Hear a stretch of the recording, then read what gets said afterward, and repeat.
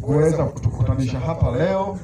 Wengine tumetoka kata jirani mbali kidogo, kama ulivyosema awali kwamba tunaweza tukachelewa. Kweli tumechelewa, lakini bora uchelewe, lakini ufike, na tumefika.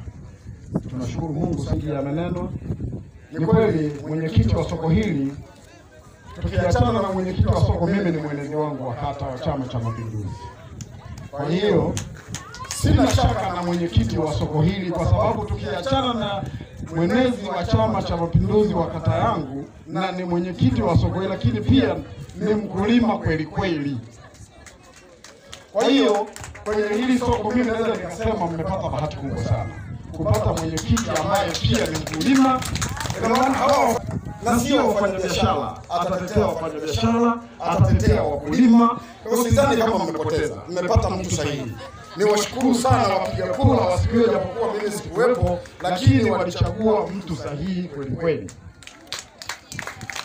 Kwa sababu nasema haya, ndugu mgeni rasmi, nasema haya kwa wakati mwingine wajumbe, maana yake hili neno wajumbe, wajumbe wanaweza wakakuletea mtu ambaye sio sahihi.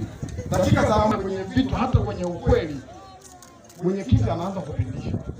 Sasa huyu mwenyekiti mimi niliyempata sina shida naye, hiyo mimi nitaungana naye na mazao mengi kama nilivyosema, nyanya, kabichi, kabechi, bilinganya, spinachi, sukuma na kadhalika, yote yanatoka ukanda. Sidhani kama kuna mazao yanatoka ukanda huu. Kwa hiyo mimi ni- ni- nita- nitamuunga mkono mwenyekiti wangu na imani mazao yatafika, na tutaendelea kwa wananchi kuwahimiza waendelee kulima mazao kwa wingi, na nitafanya kazi naye kwa sababu hapa tuko kwa ajili ya adhima ya kumsaidia Mheshimiwa Rais kwa ajili ya kupambana kwa sababu wanapoleta mazao hapa, tunafanya biashara hapa, pia serikali inakusanya kodi, tunapata mapato. Mapato hayo yanarudi kwa wananchi wetu kwenda kutekeleza miradi mbalimbali, zahanati, mashule, maji, umeme na kadhalika.